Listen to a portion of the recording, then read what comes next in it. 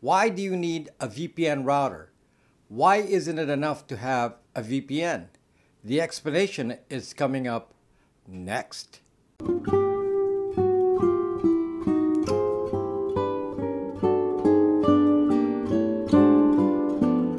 Let's start with the basics of cybersecurity.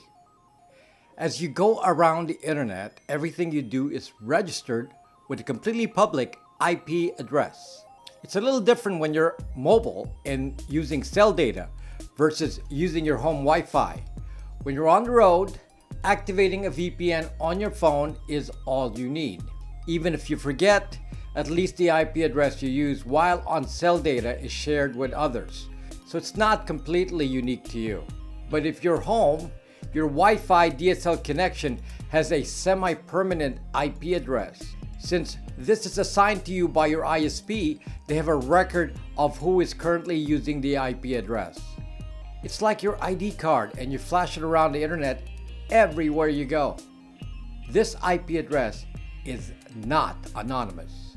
As you've used your DSL over the years, third parties have been collecting a set of data points from your IP address.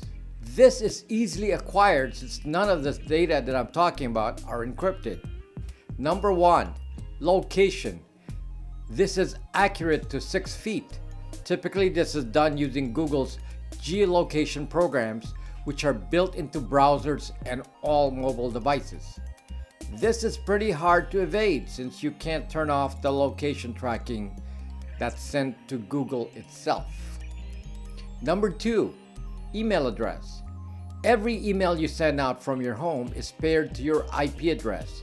It's in the email header. And it is sent out to the internet unencrypted.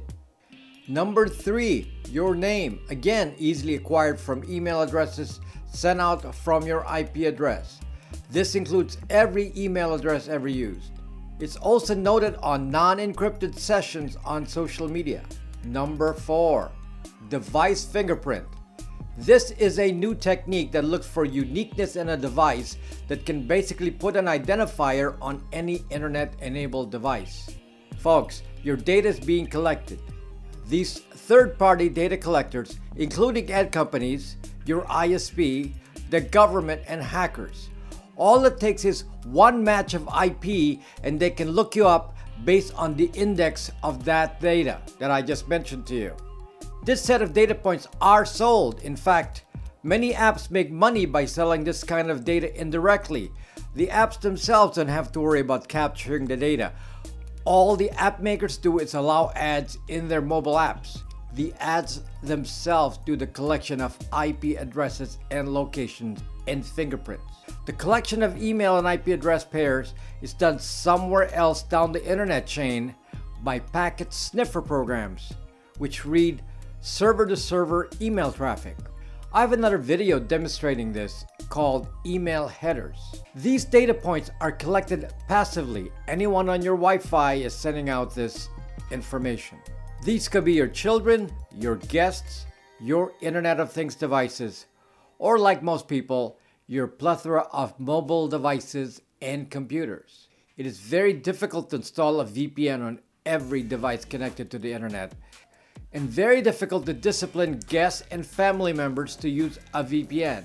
So you may be protecting yourself as an individual, but data is leaking from your home nevertheless, and other people are causing you to lose your safety.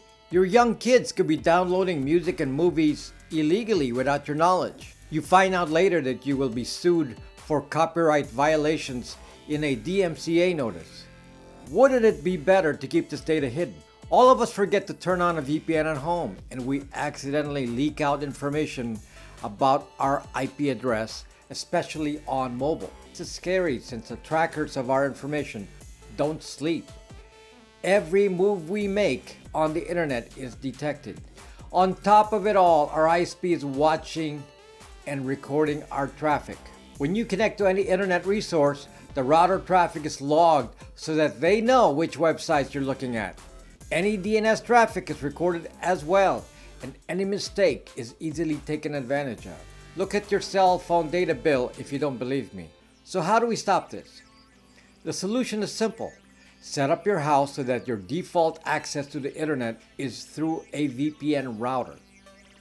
The VPN router is just a regular Wi-Fi access point to your devices, but instead of being an open internet, it will route all traffic through the VPN first. To take a normal router like this Linksys here and convert it to a VPN involves buying this router, then flashing it with new software, for example from DDWRT, and then configuring it for your particular VPN. It requires some expertise and lots of time. It's not something a non-techie person will do. Pre-installed VPN routers will cost you around 300 to 500 bucks a piece, and you may need more than one. Knowing this expense and because I'm already working with these devices, I actually wrote software to manage VPNs and Tor routing software on a cheaper Raspberry Pi. This is using my software called Brax Wi-Fi. This is a pre-configured router. It can act as a regular router. The Raspberry Pi has built-in Wi-Fi, so it's set up as a regular access point. It can be used as a VPN router, as a Tor router, or as a regular router. You simply connect this Pi to your existing router or DSL modem using a regular Ethernet cable. The software is automatically updated if you are connected to the internet. And it can be remotely controlled at your home. Here's a quick view of the user interface. It's pretty much plug and play. It will run immediately when plugged in. If you put a couple of these in different parts of your house, you can ensure that everyone is always using a VPN.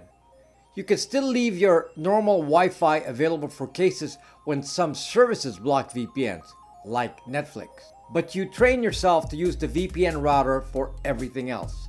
This kind of setup requires a subscription to a VPN service. The default for this device is to use MyVPN, which is Bytes VPN. You'll get very fast connections in the USA. We have USA only servers for privacy protection. The links for the Brax Wi-Fi router are in the description. I hope you like this video and subscribe to this channel for more tech privacy tools.